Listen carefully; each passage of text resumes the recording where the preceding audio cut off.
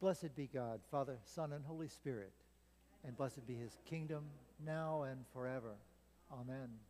Almighty God, to you all hearts are open, all desires known, and from you no secrets are hid.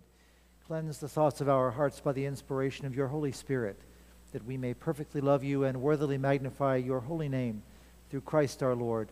Amen. I beheld a man sitting on an exalted throne, whom a legion of angels worship, singing together. Behold, his rule and governance will endure for all the ages. Be joyful in the Lord, all you lands. Serve the Lord with gladness. Glory to the Father, and to the Son, and to the Holy Spirit, as it was in the beginning, is now, and will be forever. Amen. I beheld a man sitting on an exalted throne, whom an angel, a legion of angels worship, singing together, Behold, his rule and government will endure for all the ages. The Lord be with you. Let us pray. Father in heaven, who at the baptism of Jesus in the river Jordan proclaimed him your beloved Son and anointed him with the Holy Spirit, grant that all who are baptized into his name may keep the covenant they have made and boldly confess him as Lord and Savior, who with you and the Holy Spirit lives and reigns one God in glory everlasting. Amen. Please be seated.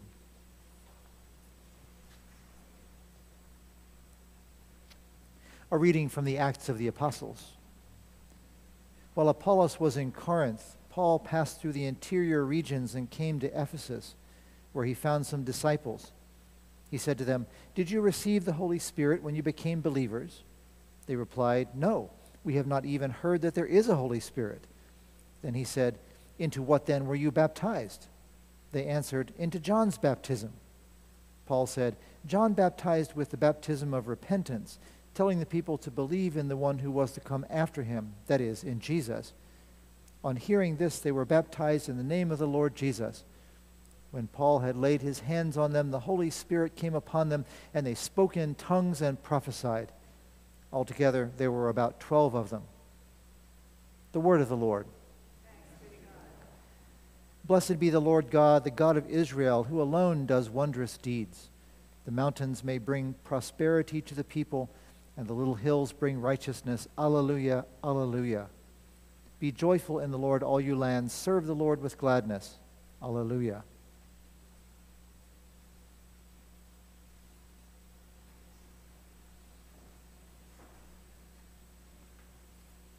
The Lord be with you. The Holy Gospel of our Lord Jesus Christ according to John. John the Baptizer appeared in the wilderness, proclaiming a baptism of repentance for the forgiveness of sins. And people from the whole Judean countryside and all the people of Jerusalem were going out to him and were baptized by him in the river Jordan, confessing their sins. Now John was clothed with camel hair, with a leather belt around his waist, and he ate locusts and wild honey. He proclaimed, The one who is more powerful than I is coming after me I am not worthy to stoop down and untie the thong of his sandals. I have baptized you with water. He will baptize you with the Holy Spirit. In those days, Jesus came from Nazareth of Galilee and was baptized by John in the Jordan. And just as he was coming up out of the water, he saw the heavens torn apart and the Spirit descending like a dove on him. And a voice came from heaven You are my Son, the beloved. With you I am well pleased the gospel of the Lord.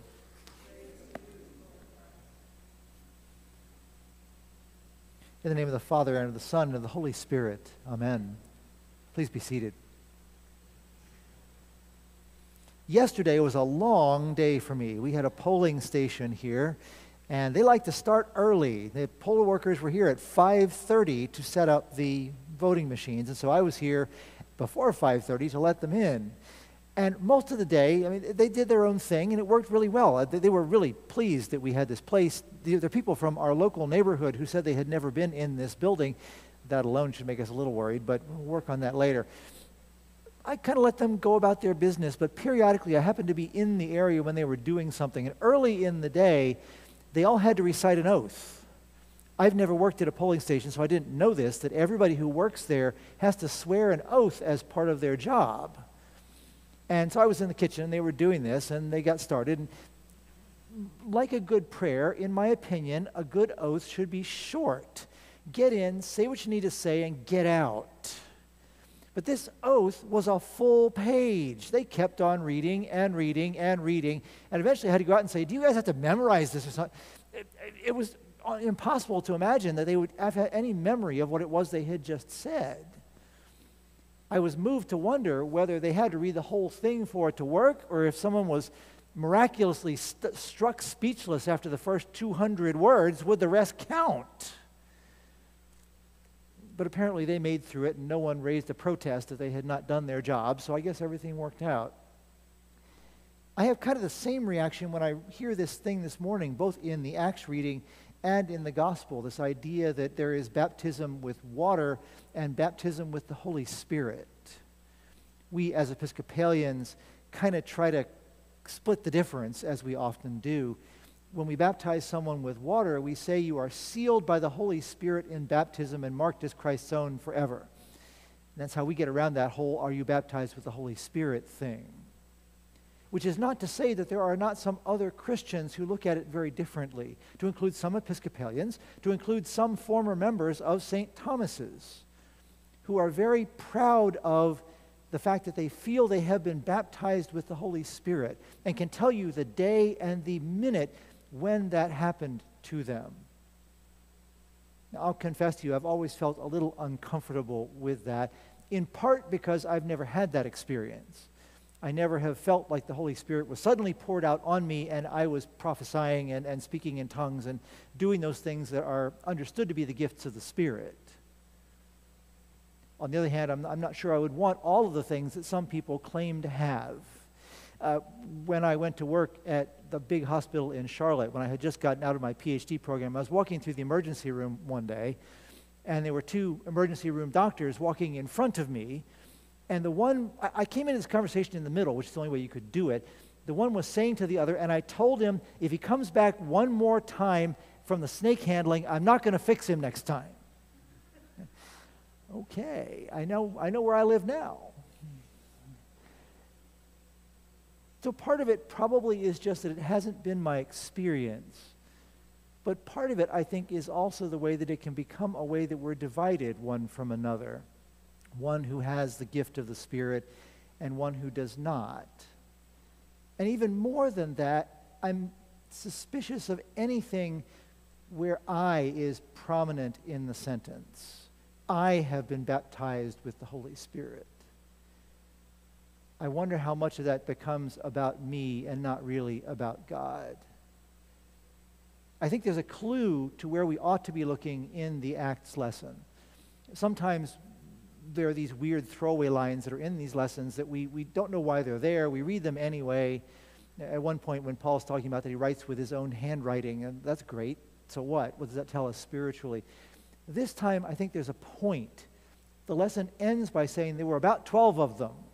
Now, 12, of course, is always kind of a number that makes you stop and notice. But in this case, the whole point for me is that it's more than just one. They were baptized together, and together they were baptized with the Holy Spirit, whatever that may mean. I think the fulfillment of what happens to us in water baptism is what happens to us together as we go through the rest of our spiritual life. It's the rest of the oath that we might not get around to reciting on that first occasion, but that continues to be poured out on us through the rest of our lives and is poured out on us only when we are together. There is something about the Holy Spirit moving among us that seems to be much more powerful than what any of us experiences individually of it. So it gives me a little bit of comfort, perhaps, to imagine that I have been baptized with the Holy Spirit by all of the other Christians I have known through my life, all the times I have been with them, all the things we have done and experienced together. That, I think, is the fulfillment of God's promise of baptism for you and for me. That if we will be faithful with one another, Hang in there as a Christian community. The Holy Spirit will do more through us and because of us, occasionally even despite us, than we can imagine or ask or pray for or even notice while it is happening. May it be the will of God we will at least see it in the rearview mirror, as I think I have. We'll all get to the end of the oath and we will all see what it is that God has done for all of us, for all of humanity. Amen.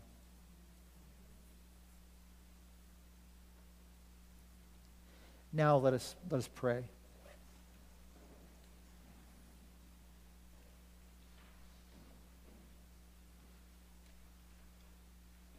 In peace, let us pray to the Lord. For the peace from above, for the salvation of humankind, that righteousness, mercy, and truth may prevail among all peoples and nations.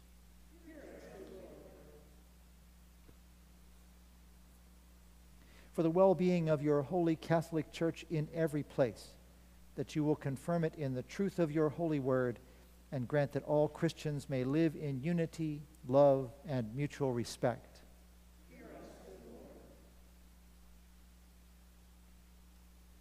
For bishops and other ministers, especially for Michael, our presiding bishop, Kevin, our bishop, and those who serve you in this place, that both by their life and teaching they may proclaim your true and life giving word and faithfully administer your holy sacraments.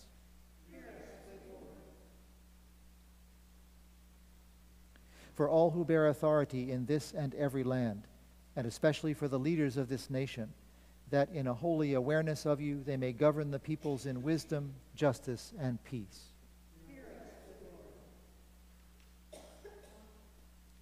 For all who spread the gospel among the nations and who minister to the suffering, the friendless, and the needy, that they may have strength and courage to fulfill your holy will.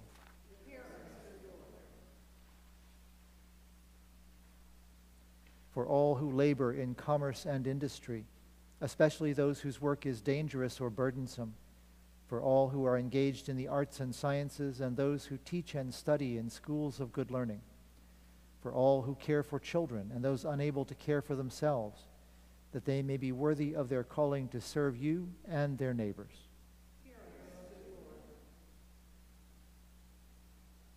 For those who farm the fields and tend the woods, for all who gather the harvest of the lands and of the waters, and for our faithful use of your creative bounty, that humankind, being delivered from famine and disaster, may acknowledge your glory in all your works.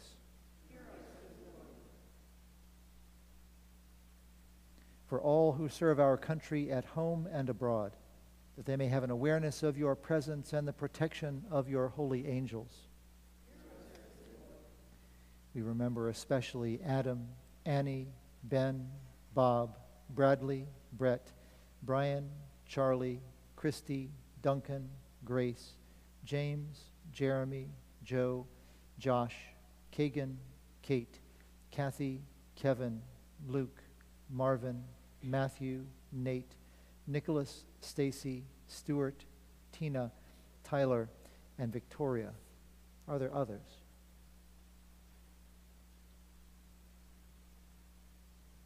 For all who in this brief and changeable life are in danger, trouble, sorrow, need, sickness, or any other adversity, that they may have comfort and relief of all their needs. We remember especially Adele, the Archer family, Austin and Chrissy, Barry, Bernice, Betty, the Blackman family, Bob, Brendan, Brighton, the Carew family, Carol, Carolyn, Cecily, Charles, Charlie, Charlie and Ellen, Sean, Chris, Christine, Christine and Eric, Christine and Francis, Chuck and Paula, Claire, Connie, Court, Dee, Dana, Daphne, Darren, Denise, Dennis, Devin, Elaine, the Ely family, Elmer, Aaron and family, Flora, Frank, Fred and Lori, Freddie, Jeff, George, Gina, Giorgio and family, the Harrison family, Janice, Jean and Richard, Jim, John, Johnny, Judy, Julie, June, Karen, Catherine, Kay, Kelly, Krista, the Lane family, Larry, Liz, Lorraine, Mara, Mark, Mike and Martha, Marge, Margie, Maria, Marion and family, Marianne, Mary, Mary Ellen, Marianne and Bob, Matt, Michael, Morgan and family, the Mullins family, Nancy, Pam, Pat and Emmett, Paula, the Richardson family, Rick, Ricky, Sabi, Shannon, Sharon, Sandra, Sophie, the South family, Stephen, Stover, Sue, Susan and family, Terry, Thomas, Vicky, and Walani. Are there others?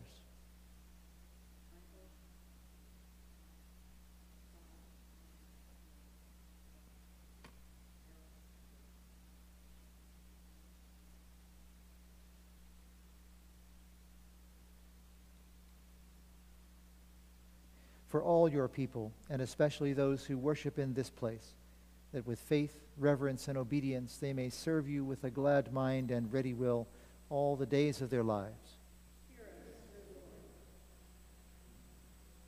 Have mercy on us, most merciful Lord, and deliver us from all affliction, strife, and catastrophe. In your compassion, forgive us all our sins and failures, known and unknown, things done and left undone. And so support us with your Spirit, that we may end our days in peace, trusting in your mercy at the day of judgment.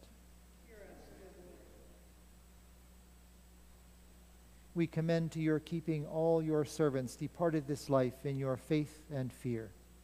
Are there any to be remembered especially today?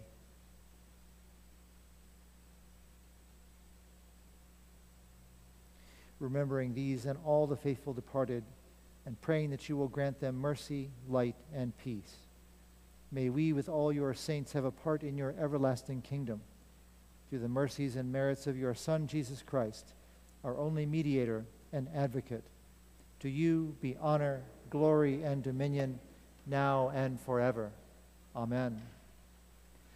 The peace of the Lord be always with you. And also with you.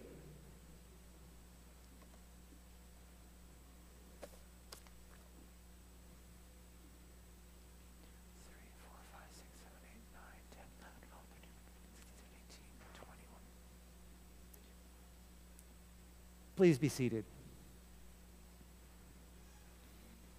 By way of thanksgivings today, I should give particular thanks for this new set of vestments. This is our newest set of chasuble and stoles and hangings for the front of the church. And in my opinion, this is the most beautiful one we have at the moment. This is, this is a lovely thing. And I'm so grateful to those who were able to put it together for us uh, that we will have it to use to the glory of God in this place. Ascribe to the Lord the honor due his name, bring offerings, and come into his courts.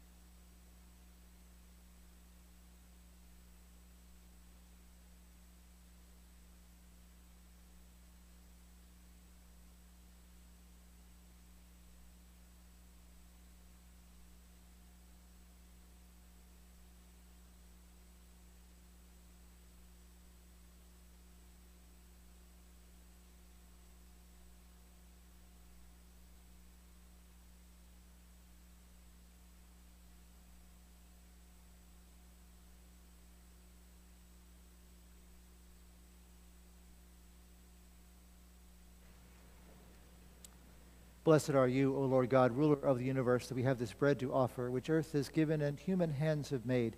it will become for us the bread of life. Blessed are you, O Lord God, ruler of the universe, that we have this wine to offer, fruit of the vine and work of human hands. It will become for us the cup of salvation. The Lord be with you. Lift up your hearts. Let us give thanks to the Lord our God. It is right and a good and joyful thing always and everywhere to give thanks to you, Father Almighty, creator of heaven and earth, because in the mystery of the Word made flesh you have caused a new light to shine in our hearts, to give the knowledge of your glory in the face of your Son, Jesus Christ our Lord. Therefore we praise you, joining our voices with angels and archangels and with all the company of heaven, who forever sing this hymn to proclaim the glory of your name. Holy, holy, holy Lord, God of power and might. Heaven and earth are full of your glory. Hosanna in the highest.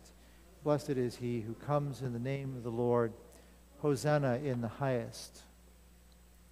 We give thanks to you, O God, for the goodness and love which you have made known to us in creation, in the calling of Israel to be your people, in your word spoken to the prophets, and above all in the word made flesh, Jesus, your Son. For in these last days you sent him to be incarnate from the Virgin Mary, to be the Savior and Redeemer of the world. In him you have delivered us from evil and made us worthy to stand before you. In him you have brought us out of error into truth, out of sin into righteousness, out of death into life. On the night before he died for us, our Lord Jesus Christ took bread, and when he had given thanks to you, he broke it and gave it to his disciples and said, Take, eat. This is my body, which is given for you. Do this for the remembrance of me.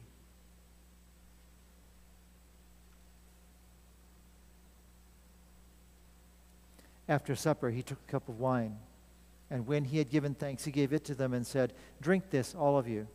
This is my blood of the new covenant, which is shed for you and for many for the forgiveness of sins. Whenever you drink it, do this for the remembrance of me.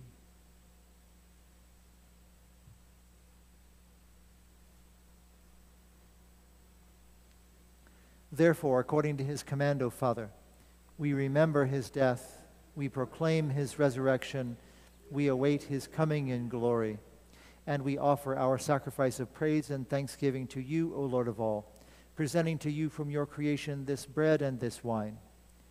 We pray you, gracious God, to send your Holy Spirit upon these gifts, that they may be the sacrament of the body of Christ and his blood of the new covenant.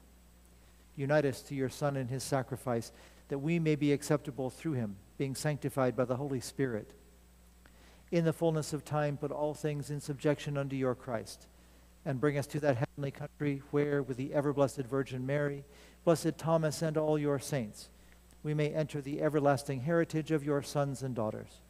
Through Jesus Christ our Lord, the firstborn of all creation, the head of the church, and the author of our salvation. By him, and with him, and in him, in the unity of the Holy Spirit, all honor and glory is yours, Almighty Father, now and forever. Amen. And now, as our Savior Christ has taught us, we are bold to say, Our Father, who art in heaven, hallowed be thy name. Thy kingdom come, thy will be done, on earth as it is in heaven. Give us this day our daily bread, and forgive us our trespasses, as we forgive those who trespass against us. And lead us not into temptation, but deliver us from evil. For thine is the kingdom and the power and the glory forever and ever. Amen.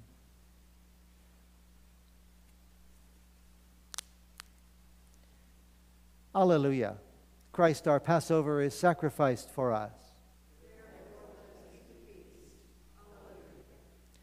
The gifts of God for the people of God, take them in remembrance that Christ died for you, and feed on him in your hearts by faith with thanksgiving.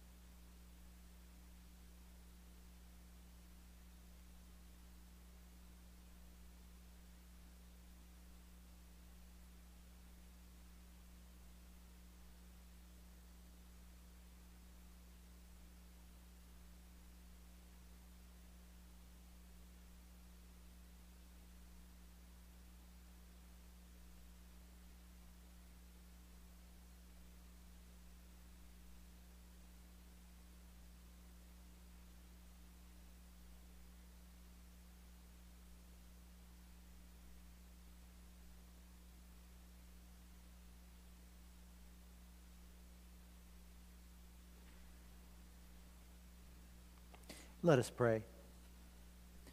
Eternal God, Heavenly Father, you have graciously accepted us as living members of your Son, our Savior Jesus Christ, and you have fed us with spiritual food in the sacrament of his body and blood.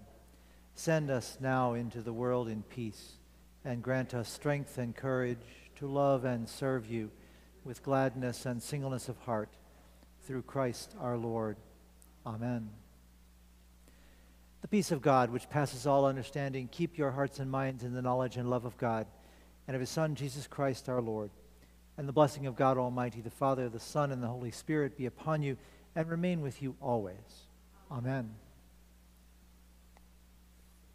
Go in peace to love and serve the Lord.